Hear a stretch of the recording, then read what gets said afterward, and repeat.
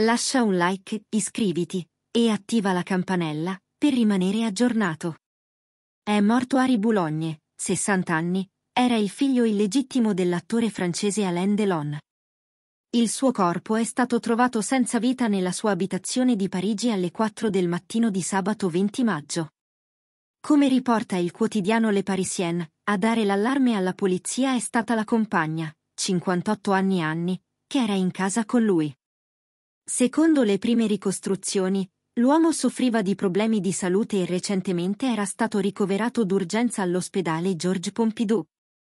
Al momento tuttavia le circostanze della morte non sono chiare e dovranno essere accertate dall'autorità ecco perché, nel frattempo, la stessa compagna è stata fermata dalla polizia, che sta accertando il presunto omesso soccorso per Boulogne.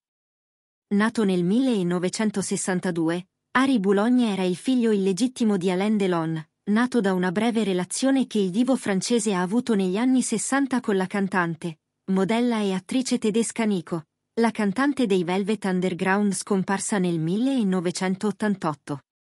Boulogne è cresciuto con la famiglia Delon, in particolare con la madre dell'attore, Edith, che lo adottò con il suo secondo marito, Paul Boulogne appunto. La paternità da parte di Delon nei confronti del figlio di fatto non è mai stata riconosciuta, ma è stata a lungo oggetto di una lunga battaglia in tribunale. Boulogne non si è mai arreso sulla questione, fino al 2020, ha continuato a portare avanti le sue richieste davanti ad un giudice. Di mezzo, d'altronde, c'era una maxi eredità che ha sempre suscitato non poche perplessità da parte dell'opinione pubblica francese. L'attore, sempre piuttosto evasivo sul tema, in più occasioni definì Boulogne nient'altro che un amico. Sei il mio amico tu, sei il mio amico. Ma ti dirò un cosa, non hai i miei occhi, non hai i miei capelli. Non sei mio figlio, non sarai mai mio figlio, sarebbero state le parole di Delon, come raccontato nell'autobiografia di Boulogne.